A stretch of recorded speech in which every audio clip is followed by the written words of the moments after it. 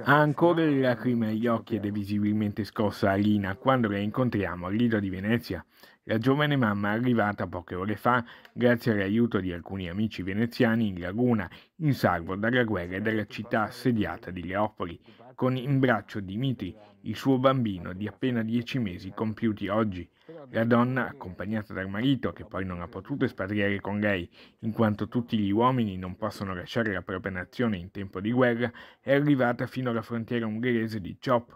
Qui è salita su un treno gratuito per Budapest, dove ha trovato ad attendere a puntuale un amico di sempre, imprenditore, che da Cavallino Tre Porti è partito appositamente per andare a prenderla e portarla a Venezia, 1500 km alla guida per far ricongiungere Alina alla madre che vive e lavora in laguna da tempo. È preoccupata per la parte di famiglia che ha lasciato in Ucraina?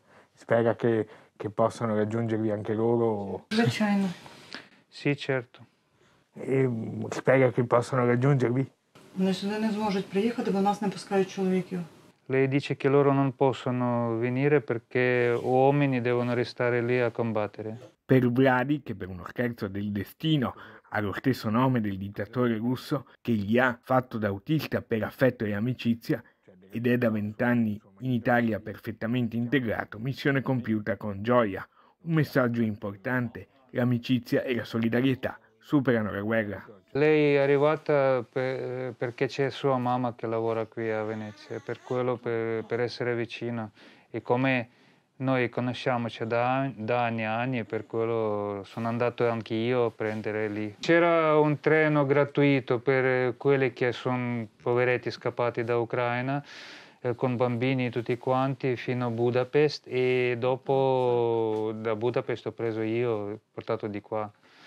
Loro sono organizzati con eh, volontari tutti quanti per, per dare cibo da bere, me- medicina.